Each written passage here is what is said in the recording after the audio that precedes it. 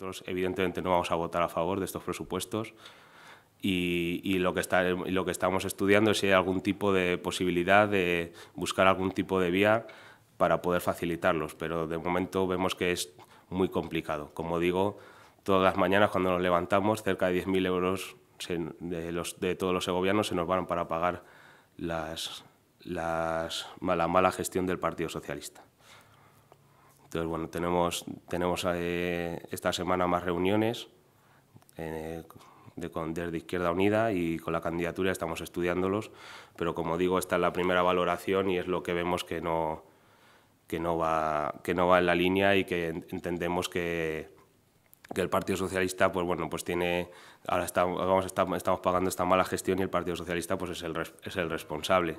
También vemos como la deriva política del Partido Socialista con, el parking, que ahora vuelve a rescatar el parking del, del salón, pues nos parece que se está desviando totalmente de una política pensada en la gente, pensada en, nuestro, en defender lo de todos, que es nuestro patrimonio natural e histórico, y pensamos que se está alejando de, unas políticas de izquierda, unas políticas pensadas para la mayoría social y, los ciudadanos. En principio son unos presupuestos muy difíciles de, de aprobar, o sea, evidentemente estamos buscando vías para, para, poder facilitar, más que facilitar, para poder influir en esos presupuestos para hacer para llevar nuestras propuestas, de, de, las propuestas que llevamos desde Izquierda Unida, llevarlas e intentar influir en esos presupuestos, pero evidentemente está, es tan pequeña la partida en inversiones que es muy complicado poder influir. Evidentemente,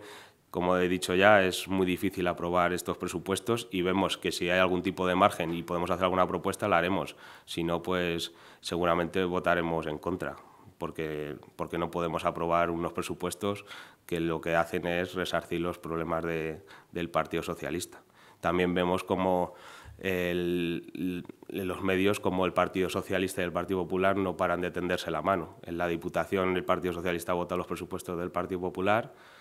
y vemos como el portavoz de la Diputación, en el, con responsabilidad orgánica en el Partido Socialista en Segovia, está tendiendo la mano al Partido Popular en el Ayuntamiento. Y yo de momento no he visto a, ni a la alcaldesa, ni al portavoz, ni al portavoz municipal del Partido Socialista desmentir ni decir que